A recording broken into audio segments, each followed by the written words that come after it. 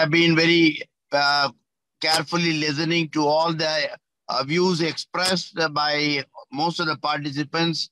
And I think everybody has got a perspective on which they have been talking about the so-called instructional coaching.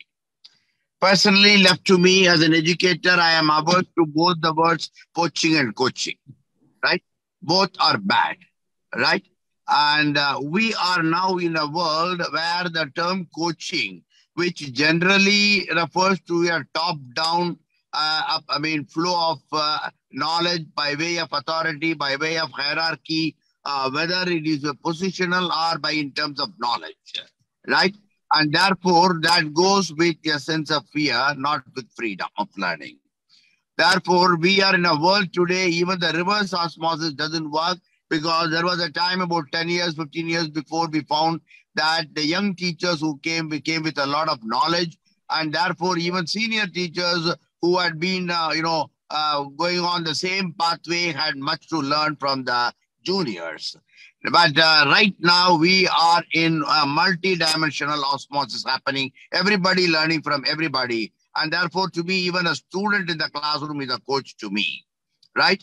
So the point what I'm trying to say is here is that uh, uh, the time has come that the schools should have, as our friends remarked about collaborative learning centers, where there is no uh, authority of any teacher, uh, you know, uh, to uh, what do you call deliver knowledge or to insist on the methodology by which something has got to be taught, right? Because you know, even a senior physics teacher may come with a number of methods of teaching physics, but today with technology coming through, you find you know uh, the the way. Just to give you a bit of information, yesterday I was uh, walking through an exhibition of educational technology, and it really mesmerized me. I was really shocked to uh, see that what is going to be a classroom teaching in the next 10 years, right? That's a way that's happening. Therefore, when you talk about uh, empowering the teachers, the, uh, the concept of instructional coaching uh, is good enough as a hand-holding